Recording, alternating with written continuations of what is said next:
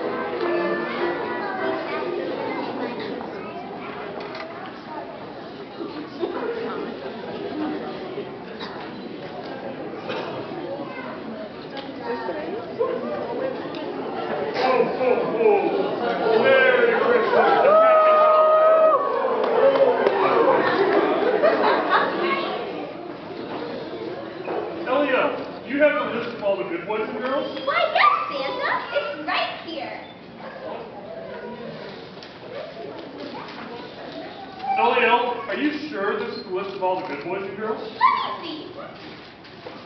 Juice, cookies, apples. Oh, and that's my grocery list. Here is the list of all the good boys and girls. Eliel, let's put all the presents under the tree for all the good boys and girls. Oh,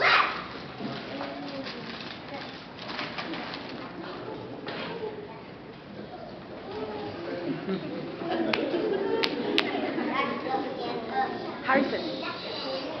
Har- Elio, where did all the presents go? I don't know, Santa. They were just right here. Well, let's put out the presents for all the good boys and girls. Okay.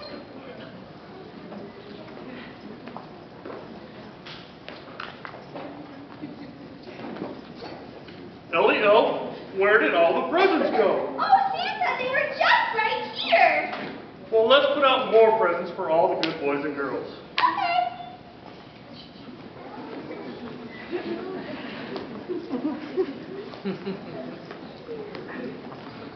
Ellie L, where is all the presents I just put right here for all the good boys and girls? Oh, Santa, I don't know.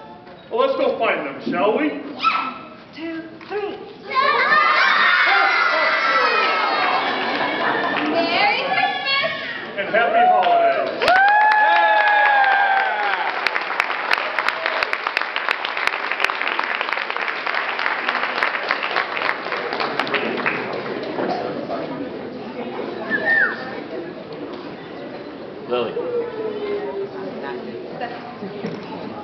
Takk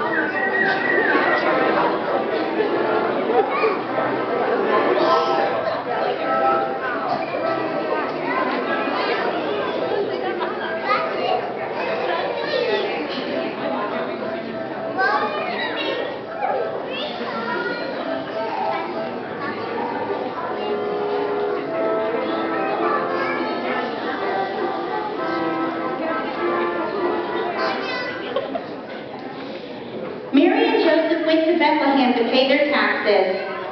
When they arrived in Bethlehem, there was no room left in the inn. Mary and Joseph were worried that they had nowhere to sleep. Mary was very tired and sore from riding on a donkey, and Mary was about to have a baby. There was one kind innkeeper who said that they could rest in his inn manger. The manger is where they keep the animals at night to keep them from straying away. The manger was a small room. It was covered with straw all over the ground. Mary and Joseph settled down for the night as best as they could. In the night, Mary had her baby. Joseph and Mary called the baby Jesus just as the angel Gabriel told them to do. They wrapped the baby Jesus in swaddling cloth and put some straw in a small wooden manger that the animal used to eat from. Then they laid baby Jesus inside of the manger. A very bright star shone above the manger, and they were all covered in light.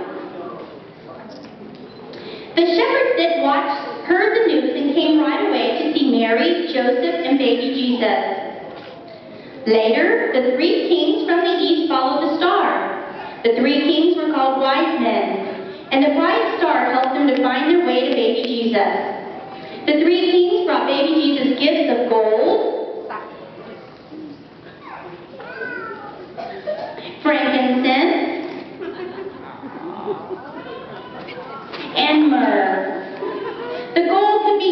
fine things in the frankincense and myrrh were used for medicine and perfume.